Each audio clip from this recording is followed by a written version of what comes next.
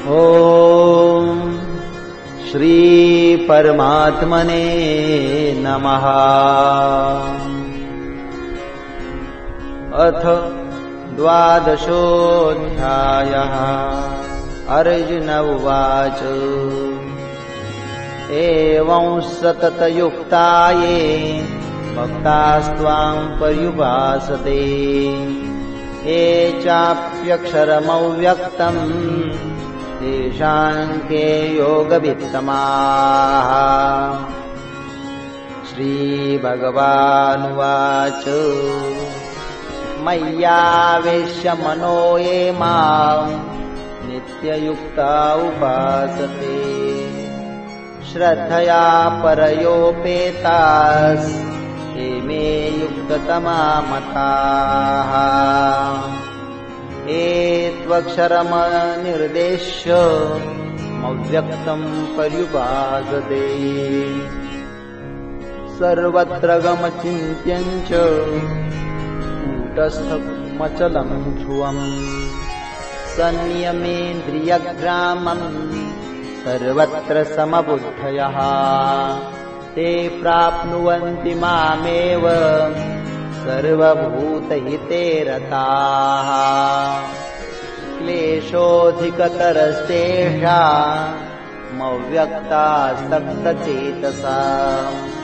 अव्यक्ता हि गतिर्दुःखम्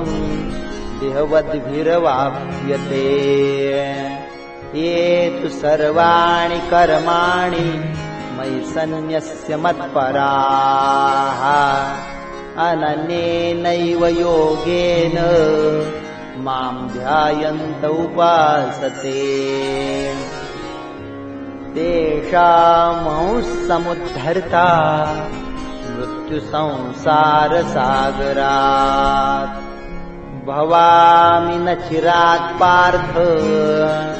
मय्यावेशितचेतसा मय्येव मनाधत्स्व मयि बुद्धिम् निवेशय निवसिष्यसि मय्येव अत ऊर्ध्वम् न संशयः अथ चित्तम् समाधातुम् न शक्नोषि मयि स्थिरम् अभ्यासयोगेन ततो मामिच्छापिन्धनञ्जय अभ्यासेत् समर्थोऽसि मत्कर्म परमो भव मदर्थमपि कर्माणि कुर्वन्सिद्धिमवाप्स्यसि अथैतदप्यशक्तोऽसि कर्तुम् मद्योगमाश्रितः सर्वकर्मफलत्यागम् ततः कुरु यतात्मवान् श्रेयो हि ज्ञानमभ्यासात् ज्ञानाध्यानम् विशिष्यते ध्यानात् कर्मफलत्यागस्य त्यागाच्छान्तीरणनन्तरम् आद्वेष्टा सर्वभूतानाम् मैत्रः करुण एव च निर्ममो निरहङ्कारः समदुःखसुखक्षमी सन्तुष्टः सततम् योगी यतात्मा दृढनिश्चयः मय्यर्पितमनो बुद्धिर् यो मद्भक्तः समे प्रियः यस्मान्नो द्विजते लोको लोकान्नो द्विजते शयः हर्षामर्षभयोद्वेगैर्मुक्तो मुक्तो स च मे प्रियः अनपेक्षसुचिर्दक्ष उदासीनो गतव्यथः सर्वारम्भपरित्यागी यो मद्भक्तः स मे प्रियः यो न हृष्यति न द्वेष्टि न शोचति न काङ्क्षति शुभाशुभ परित्यागी भक्तिमान्यसमे प्रियः समशत्रौ च मित्रे च तथा मानापमानयोः शीतोष्णसुखदुःखेषु समस्सङ्गविवर्जितः तुल्यनिन्दासुचिर्मौनी सन्तुष्टो येन केनचित् अनिकेतस्थिरमतिर् प्रियो नरः धर्म्यामृतमिदम् यथोक्तम् पर्युपासते श्रद्दधानामत्परमा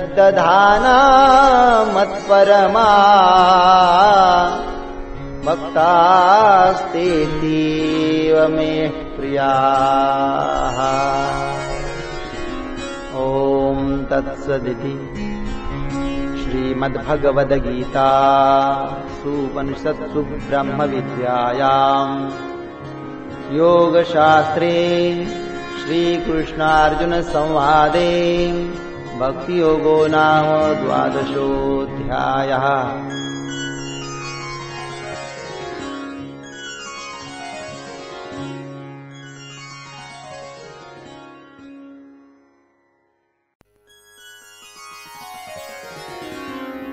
ॐ श्रीपरमात्मने नमः अथ त्रयोदशोऽध्यायः श्रीभगवानुवाच इदं शरीरं कौन्तेय क्षेत्रमित्यभिधीयते एतद्यो वेत्ति तं प्राहुः क्षेत्रज्ञैति तद्विदः क्षेत्रज्ञं चापि मां विद्धि सर्वक्षेत्रेषु भारत क्षेत्रक्षेत्रज्ञयोर्ज्ञानं यत्तज्ज्ञानं मतं मम तत्क्षेत्रं यच्च यादृक् च यद्विकारी यतश्च यत् सचयो यत्प्रभावश्च तत्समासेनमेषु ऋषिभिर्बहुधा गीतं छन्दोभिर्विविधैः पृथक् ब्रह्मसूत्रपदैश्चैव हेतुमद्भिर्विनिश्चितैः मा भूतान्यहङ्कारो बुद्धिरव्यक्तमेव च इन्द्रियाणि दशैकञ्च पञ्चसेन्द्रियगोचराः इच्छादेशसुखं दुःखं सङ्घातश्चेतनाधृतिः एतत्क्षेत्रं समासेन भित्वा अमानित्वमदम्भित्वमहिंसाक्षान्तरार्जवम् आचार्योपासनं शौचं धैर्यमात्मविनिग्रहः इन्द्रियार्थेषु मनहङ्कार एव च जन्ममृत्युजरा दुःखदोषानुदर्शनम् असक्तिरनभिष्वङ्गः पुत्रदारगृहादिषु नित्यञ्च समचित्तत्वनिष्टानिष्टोपपत्तिषु मयि चानन्ययोगेन भक्तिरव्यभिचारिणी मरतिर्जनसंसदि अध्यात्मज्ञाननित्यत्वं तत्त्वज्ञानार्थदर्शनम् एतज्ज्ञानमिति प्रोक्त यदतोऽन्यथा ज्ञेयं यत्तत् प्रवक्षामि मृदमश्नुते अनादिमत्परं ब्रह्म न सत्तन्ना सदुच्यते सर्वतः पाणिपादं तत् सर्वतोक्षिशिरोमुखम् श्रुतिमल्लोके सर्वमावृत्य तिष्ठति सर्वेन्द्रियगुणाभासं सर्वेन्द्रियविवर्जितम् असक्तं सर्वभृच्चैव निर्गुणं गुणभोक्तृच बहिरन्तश्च भूता मचरञ्चरमेव च सूक्ष्मत्वात् तदविज्ञेयं चान्तिके च तत् अविभक्तञ्च भूतेषु विभक्तमिव च स्थितम् भूतभर्तृ च तज्ज्ञेयं वसिष्णुप्रभविष्णु च ज्योतिषामपि तज्योतिस् तमसः परमुच्यते ज्ञानं ज्ञेयं ज्ञानगम्यं हृदि सर्वस्य वेष्टितम् इति क्षेत्रं तथा ज्ञानं ज्ञेयं चोक्तं समासतः मद्भक्त एतद्विज्ञाय मद्भावायोपपद्यते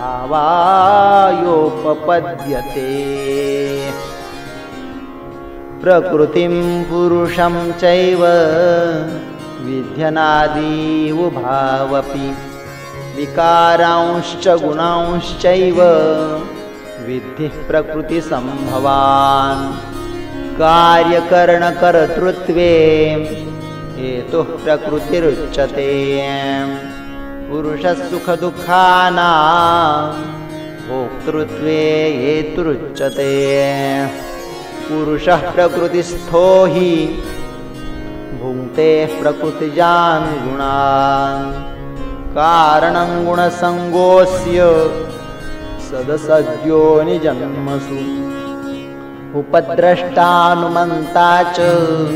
भर्ता भोक्ता महेश्वरः परमात्मेति चाप्युक्तो देहेऽस्मिन् पुरुषः परः य एवं वेत्ति पुरुषं प्रकृतिं च गुणैः सह सर्वथा वर्तमानोऽपि न स भूयोऽभिजायते जानेनात्मनि पश्यन्ति केचिदात्मानमात्मना साङ्ख्येन योगेन मयोगेन चापरे अन्येत्येव मजानन्तः श्रुत्वा उपासते तेऽपि चातितरन्तेव मृत्युं श्रुतिपरायणाः यावत् सञ्जायते किञ्चित् सत्त्वं स्थावरजङ्गमम् क्षेत्रक्षेत्रज्ञसंयोगात् तद्विद्धि वरदर्शभ समं सर्वेषु भूतेषु तिष्ठन्तं परमेश्वरं विनश्यत्स्व विनश्यन्तं यः पश्यति स पश्यति समं पश्यन् हि सर्वत्र समवस्थितमेश्वरं न हि न स्यात्मनात्मानं ततो याति पराङ्गतिं प्रकृतैव च कर्माणि क्रियमाणानि सर्वशः यः पश्यति तथात्मान मकर्तारं स पश्यति यदा भूत पृथग्भाव मेकस्थमनुपश्यति तत एव च विस्तारं ब्रह्मसम्पद्यते तदा अनादित्वा निर्गुणत्वात् परमात्मायमव्ययः शरीरस्थोऽपि कौन्तेय न करोति न लिप्यते यथा सर्वगतं सौक्ष्म्या तदाकाश सर्वत्रावस्थितो देहे तथात्मा नोपलिप्यते यथा प्रकाशयत्येकः कृत्स्नं लोकमिमं रविः क्षेत्रं क्षेत्री तथा कृत्स्नं प्रकाशयति भारत क्षेत्रक्षेत्रज्ञयोरेव मन्तरं ज्ञानचक्षुषा भूतः प्रकृतिमोक्षञ्च चे विदुर्यान्ति ते परम् ॐ दत्सदिति श्रीमद्भगवद्गीता सूपनिषत्सु ब्रह्मविद्यायां योगशास्त्रे श्रीकृष्णार्जुनसंवादे क्षेत्रक्षेत्रज्ञविभागयोगो नाम त्रयोदशोऽध्यायः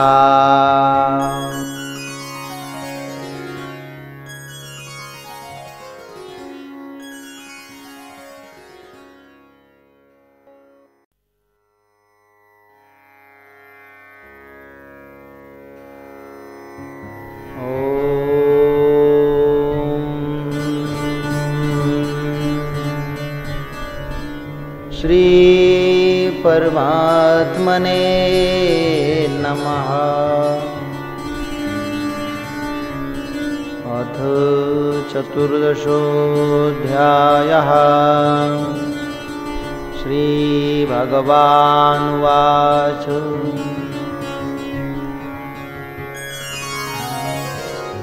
परं भूयः प्रवक्ष्यामि ज्ञानानां ज्ञानमुत्तमम् ज्ञात्वा मुनयः सर्वे परां सिद्धिमिशो गताः इदं ज्ञानमुपाश्रित्य मम साधर्यमागताः सर्वे नोपजायन्ते प्रलये नो व्यथन्ति च मम यो निर्मद्ब्रह्म तस्मिन् गर्भं दधाम्यहम् सम्भवः सर्वभूतानां ततो भवति भारत सर्वयो निःशुकौन्तेय तयः सम्भवन्त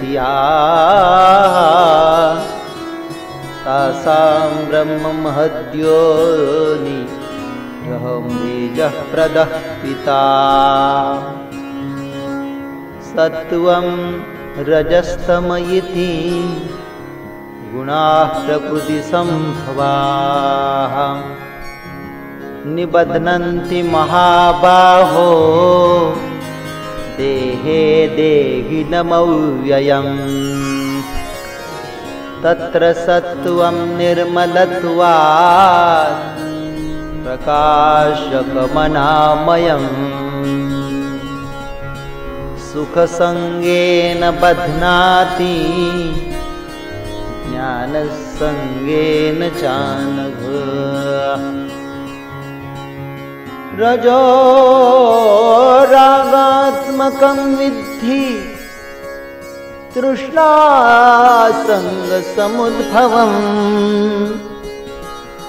तन्निबध्नाति कौन्तेय कर्मसङ्गेन देहिनम्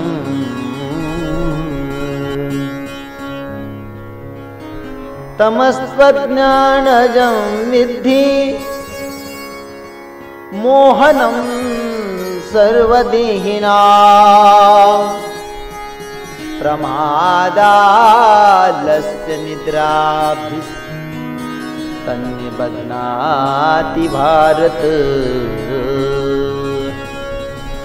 सत्वं सुखे सञ्जयति रजः कर्मणि भारत ज्ञानमावृत्यतुत्तमः प्रमादे संजयत्युत रजस्तमश्चाभिभूय सत्त्वं भवति भारत रजसत्त्वं तमश्चैव तमस्सत्त्वं रजस्तथा सर्वद्वारेषु देहेऽस्मिन् प्रकाश उपजायते यदा तदा विद्यात् विवृद्धं सत्त्वमित्युत लोभः प्रवृत्तिरारम्भः कर्मणामशमस्पृहा रजसेतानि जायन्ते विवृद्धे भरतर्षभ अप्रकाशो प्रवृत्तिश्च मोह एव च तमस्येतानि जायन्ते विवृद्धे नन्दन यदा सत्त्वे प्रवृद्धे तु प्रलयं याति देहभृत् तदोत्तमविदां लोका नमलान् प्रतिपद्यते रजसी प्रलयं गत्वा जायते तथा प्रलीनस्तमसि मूढयो निषु जायते कर्मणः सात्विकं निर्मलं फलं रजसस्तु फलं मज्ञानं तमसः फलम् सत्त्वात् सञ्जायते ज्ञानं रजसो लोभ एव च प्रमादमोहौतमसो भवतो ज्ञानमेव च ऊर्ध्वं गच्छन्ति सत्त्वस्था मध्ये तिष्ठन्ति राजसाः जघन्यगुणवृत्तिस्था अधो गच्छन्ति तामसाः गुणेभ्यः कर्तारं यदा द्रष्टानुपश्यति गुणेभ्यश्च परं वेत्ति मद्भावं सोऽधिगच्छति गुणानेतानतित्यत्रीम् देही द्यसमुद्भवान् जन्ममृत्युजरा दुःखैर्विमुक्तो मृतमश्नु हर्जुनवच कैर्लिङ्गस्त्रीन् गुणानिता न तीतो भवति प्रभो इमाचरः कथम्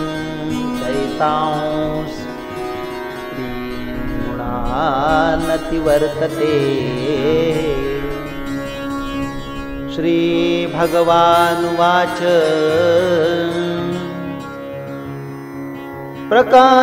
च प्रवृत्तिं च मोमेव च पाण्डव न द्वेष्टि न निवृत्तानि काङ्क्षति उदासीनवदासीनो गुणर्यो न विचाल्यते गुणावर्तन्त इत्येव योतिष्ठति मेङ्गते समदुःखसुखस्वस्थस् समलोष्टाश्मकाञ्चनः तुल्यः प्रियाः प्रियो धीरस् न्दात्मसंस्तुतिः मानापमानयोस्तुल्य तुल्यो मित्रारिपक्षयोः सर्वारम्भपरित्यागीः गुणाति उच्यते मञ्चयो व्यभिचारेण भक्तियोगेन सेवते सगुणां समतीर्थ ब्रह्मभूयाय कल्पते ब्रह्मणो हि प्रतिष्ठाः मम च शाश्वतस्य च धर्मस्य सुखस्यैकान्तिकस्य च ॐ तत्सदिति श्रीमद्भगवद्गीता ब्रह्मविद्यायां युगशास्त्रे श्रीकृष्णारुणसंवादे नाम चतुर्दशोऽध्यायः श्रीकृष्णार्पणमस्तु श्रीगुरुचरणार्विन्दार्पणमस्तु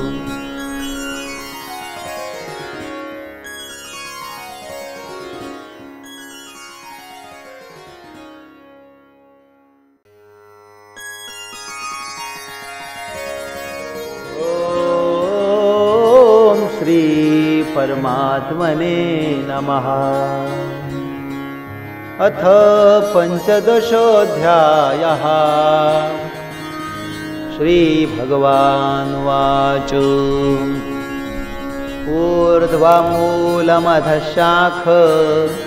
मश्वत्थं प्राहुरव्ययम् छन्दांसि यस्य पर्णानि यस्तं वेद स वेदवित् अश्चोर्ध्वम् प्रसृतास्तस्य शाखा गुणप्रवृद्धा विषयः प्रवालाः अधश्च मूलान्यनुसन्ततानि कर्मानुबन्धीनि मनुष्यलोके रूपमस्येह तथोपलभ्यते न चादिर्न च संप्रतिष्ठा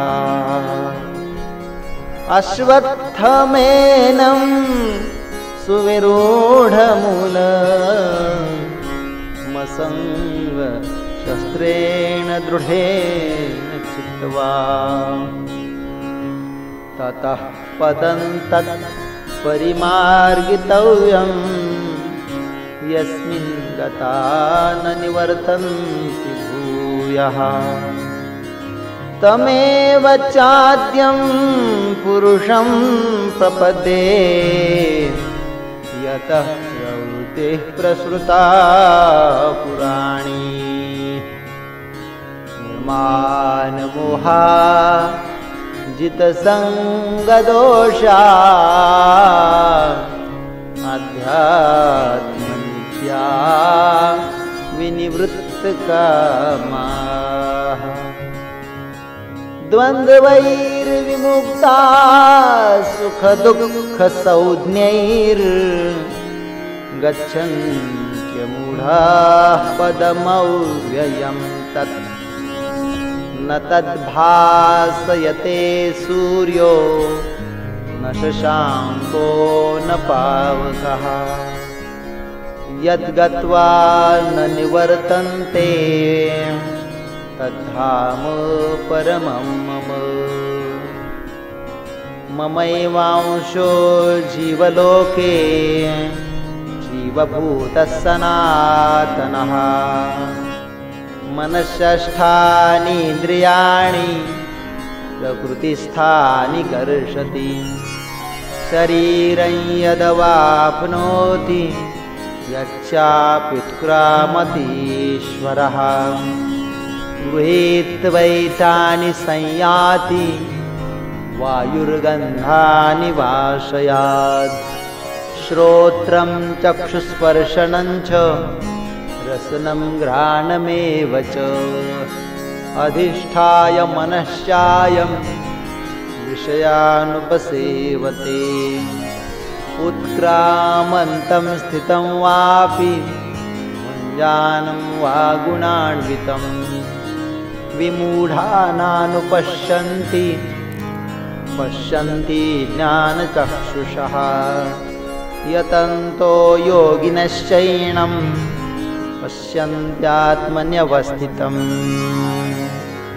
यतन्तोऽप्यकृतात्मानो नैनं वश्यन्त्यचेतसः यदादित्यगतं तेजो जगद्भास खिलं यच्चन्द्रमस्य यच्चाग्नौ तत्तेजो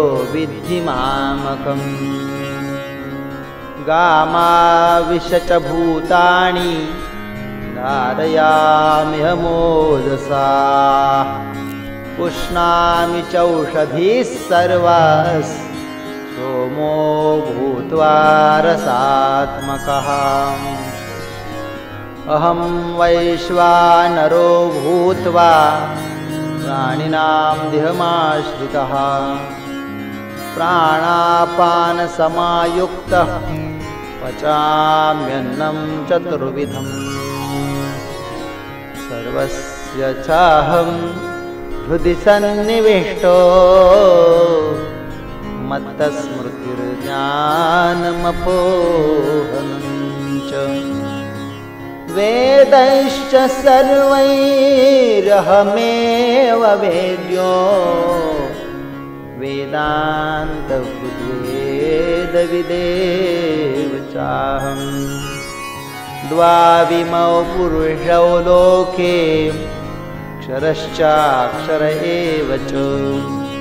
क्षरः सर्वाणि भूतानि कूटस्थोऽक्षर उच्यते उत्तमः पुरुषस्त्वन्यः परमात्मेत्युदाभूतः यो लोकत्रयमाविश्य बिभर्त्य व्यय ईश्वरः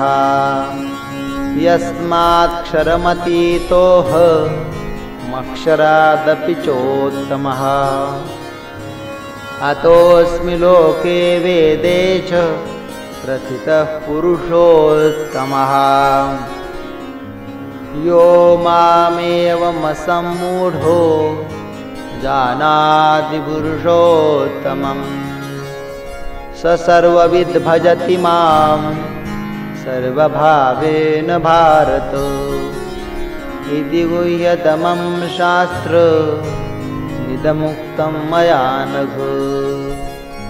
एतद्बुद्ध्वा बुद्धिमान् स्यात् कृतकृत्यश्च भारत हरिः ॐ तत्सदिति श्रीमद्भगवद्गीता सोपनिषत्सु ब्रह्मविद्यायां योगशास्त्रे श्रीकृष्णार्जुनसंवादे